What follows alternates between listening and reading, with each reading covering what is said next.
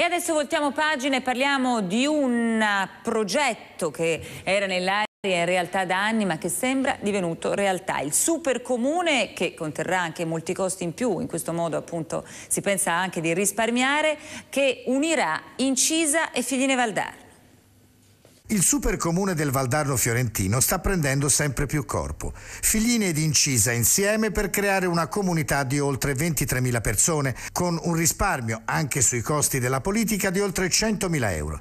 Ed i sindaci dei due comuni hanno ora consegnato una lettera al presidente della regione toscana Enrico Rossi in cui chiedono alla giunta di scrivere ed approvare una proposta di legge per arrivare alla fusione. Noi ce l'auguriamo che questo comune unico serva anche a migliorare tutti i servizi e in modo particolare i trasporti in un momento in cui sappiamo di, di tanti tagli a queste infrastrutture. Quindi il modello dei trasporti sarà uno dei tanti che ci auguriamo di migliorare.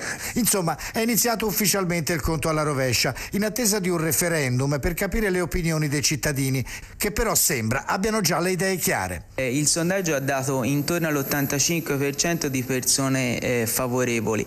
Eh, detto questo c'è da lavorare per entrare in ogni condominio, in ogni famiglia e spiegare come questa sia l'opportunità anche per ripensare il rapporto tra cittadini e istituzioni e costruire insieme il nuovo comune. Un supercomune che possa perciò fornire servizi migliori come la gestione delle 24 scuole, i musei, le biblioteche, i teatri, ma anche tutto ciò che vive all'interno di un grosso centro.